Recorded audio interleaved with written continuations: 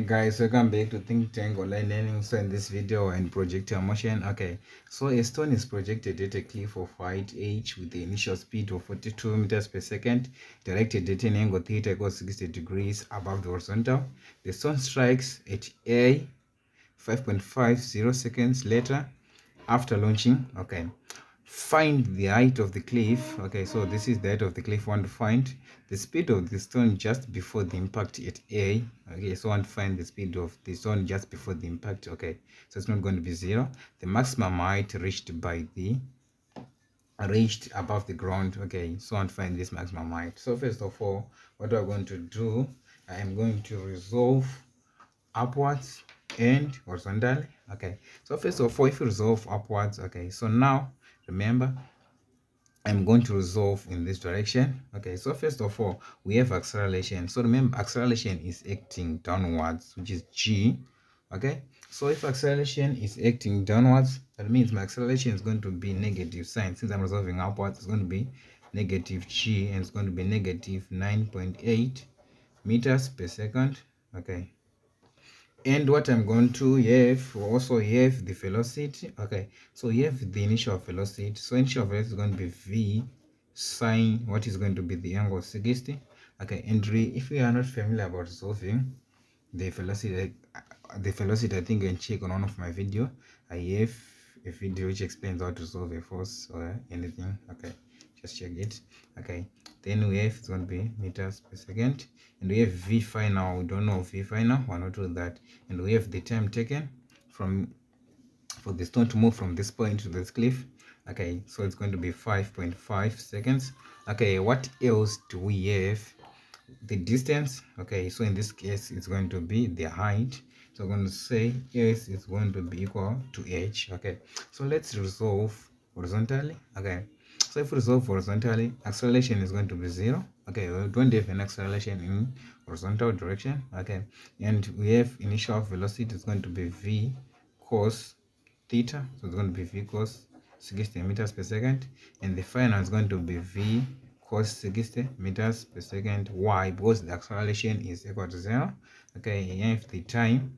Okay actually our time actually don't have the time from this point because these are initial position so we don't have the time time from this position to the ground. Okay it's from this so i'm going to say we don't have the time. So i'm write it yeah and we have the distance. Okay so from this point to this point we don't have the distance. Okay so i'm going to say don't have the distance here. Okay so i'm going to start with part a the height of the cliff. Okay so for part a what we're going to use remember we have the acceleration that's good. We have initial velocity that's good.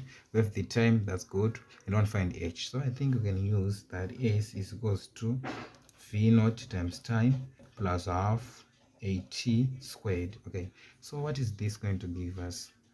So this is going to give us s is h. V naught i think we have 42 for velocity. It's going to be 42 sine 60 times 5 comma 5 okay plus one half for acceleration is going to be negative 9.8 meters per second. And for time 5.5 squared okay. Then what is going to be h here? So the answer is going to be 51.8 meters.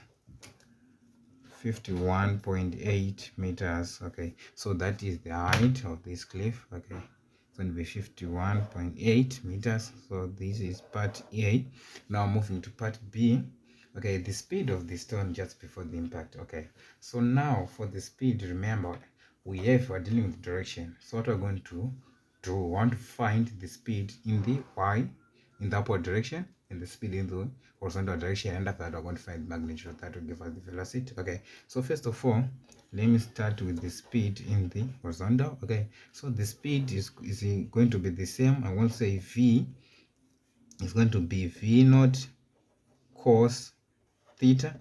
Okay since don't have an acceleration the velocity is not going to change. It's going to be 42 cos 60 okay so i think this will give us 21 meters per second. Okay so this is the v in the x direction. So let me just say vx now for vy okay. So so for vy what we're going to do remember we said we're solving in the upward direction. Okay so what you can do is that we have the initial velocity we have the final velocity to find the final velocity we have the distance okay from here to here we have the height I can do the acceleration. So i'm going to use v is equals v squared is equals to v naught squared plus 2as okay. So v is equal to the square root of v naught squared plus 2as okay so what we're going to get v naught in the y direction is going to be 42 sine 60 okay? And we're going to square this plus 2 what is going to be the acceleration is going to be negative 9.8 and what is going to be the distance? The distance is going to be 51.8 and we're going to put a square root here okay so what is going to be vy okay and the answer is going to be equal to 17.5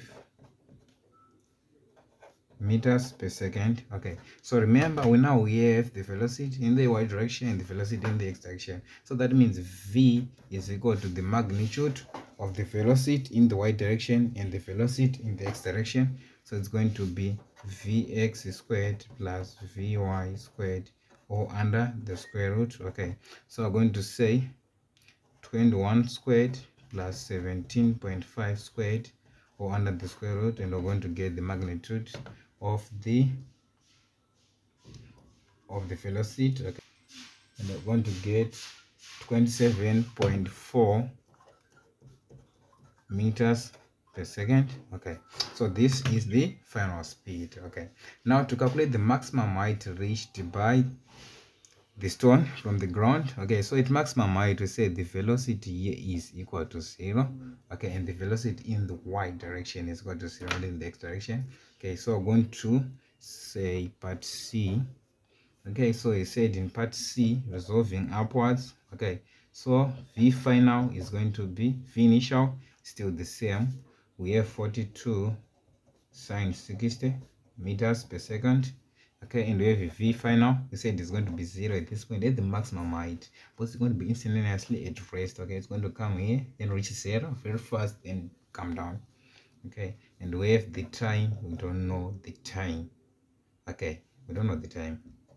Then we have h the distance. Is going to be h from this point to this point but the acceleration with the acceleration since we're solving upwards going to be negative g which is going to negative 9.8 meters per second.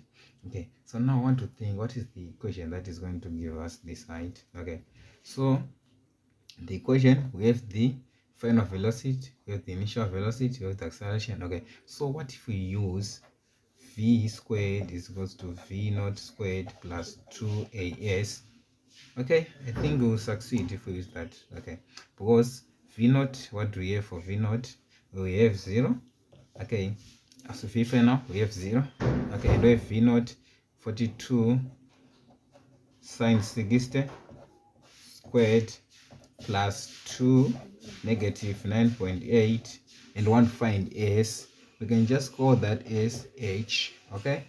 So if we bring h on this side we're going to have 2 9.8 times 2 2 times 9.8 that is going to give us what is it going to give us? It's going to give us 19.6 we're going to have 19.6 h is equal to 42 sine 60 squared. Okay so if we divide by 19.6 on both sides by 19.6 on both sides h is equal to